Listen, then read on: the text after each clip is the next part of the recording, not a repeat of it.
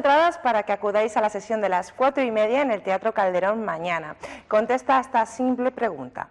¿Cuál es el título de la proyección con la que se inaugura hoy el festival?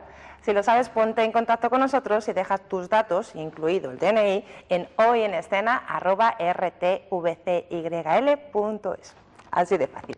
Seguimos con la agenda semanal y nos vamos a Arroyo de la Encomienda, porque mañana la Quimera de Plástico nos ofrece la representación teatral Mujeres, donde una actriz encarna dos mujeres diferentes en distintas situaciones, enmarcadas por una realidad fácilmente reconocible. ¡Buenos días! Teatro La Quimera presenta Mujeres, un montaje que engloba dos obras de Darío Fo y Franca Reim, Una mujer sola y El despertar, adaptados por Carla Mateini, que Tomás Martín intenta unificar a partir del hilo conductor que lo relaciona, la mujer como víctima del machismo. Una tragicomedia en la que la comicidad y lo disparatado de las situaciones se encubre la tragedia cotidiana de la mujer enfrentada a sí misma y a la dualidad de sus papeles como esposa, madre y trabajadora. Yo también tengo un hijo. Mejor dicho, tengo dos. Una mujer sola es la historia de una mujer encerrada en su casa por su marido, después de que por las humillaciones de este ella tenga una aventura amorosa. Callada y resignada, parece una muerta en vida, una sombra hacendosa y complaciente en su tumba. Amigas, las amigas. El despertar, más ligero y cómico que el primero, plantea el problema que surge con la incorporación de la mujer al mercado laboral. Cuando el marido llega a casa malhumorado y grita a su mujer, que también trabaja fuera, además de asumir las tareas del hogar, ella le reprocha que además de trabajar es su criada y gratis. ¿Cuántos días habré estado bañando a mi niño en azúcar?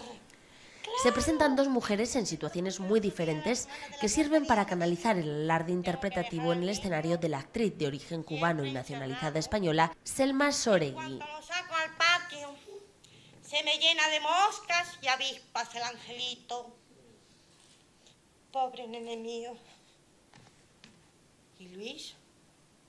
La que me montó por el café, la había echado bicarbonato. La heroína de una mujer sola es tímida e ingenua, ama de casa, seducida por tentaciones exteriores sobre todo. En el despertar, ella es parte de la modernidad, sin abandonar las obligaciones que tradicionalmente le corresponde. Así las diferencias Selma actuando. Las dos mujeres existen, ella nos lo hace creer.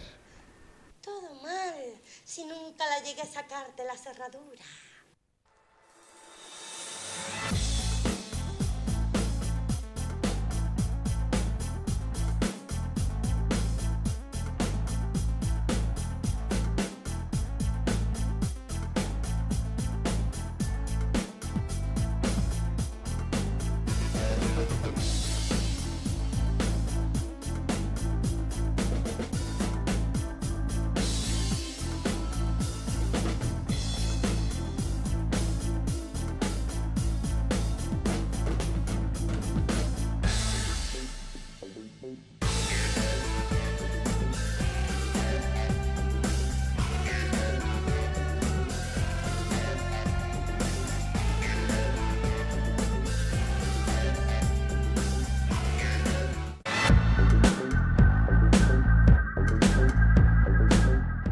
El séptimo arte no tiene fronteras culturales ni religiosas y ahora tampoco para individuos con discapacidad visual o auditiva, porque el lunes en León se proyectará la película Ángeles y Demonios con todos los avances necesarios para que todos los espectadores puedan disfrutar del cine. Un periodo conocido como sede vacante.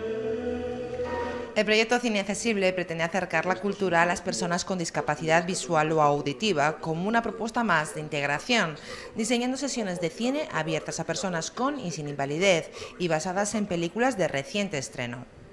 Siempre ponemos un ejemplo. Si yo voy con un niño, o mi sobrino, por ejemplo, pequeño, y voy a una sala de cine y el niño es pequeño, el cine dispone de un alza para que él se pueda sentar un poquito más alto y pueda ver la película.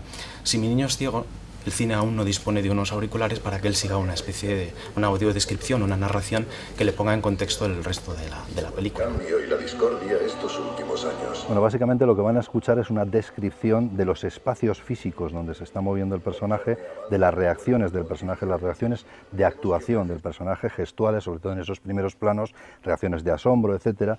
eh, que, el que, es necesario para la comprensión de, la película. Lo que son los diálogos y lo que es eh, la banda sonora de la película la van a percibir como el resto por los altavoces de la sala.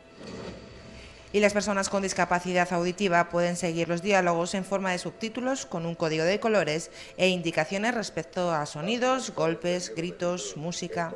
Y nos ponemos, por ejemplo, en la típica escena de los dos enamorados eh, sentados en la playa mirando el horizonte. Están de espaldas, en un subtitulado habitual, una persona sorda puede tardar tres o cuatro o cinco escenas en saber quién está diciendo qué. Con este subtitulado, cada personaje es fácilmente reconocible, de esa manera se contextualiza y se comprende mucho mejor la, película, porque cada personaje lleva su color. Además, en este subtitulado podemos poner una especie de acotaciones con las referencias de los principales sonidos. Por ejemplo, suena la ambulancia. El desarrollo tiene lugar en una sala de cine convencional de exhibición cinematográfica, a la que se dota de forma ocasional de la tecnología necesaria para la proyección accesible. ¿Policía del Vaticano? Eh, esperaba otra carta. Adiós, mañana seguiremos dando cumplida cuenta de la agenda cultural no solo de la Seminci, sino de lo más significativo de la actividad artística de Castilla y León. Besos, nos vemos.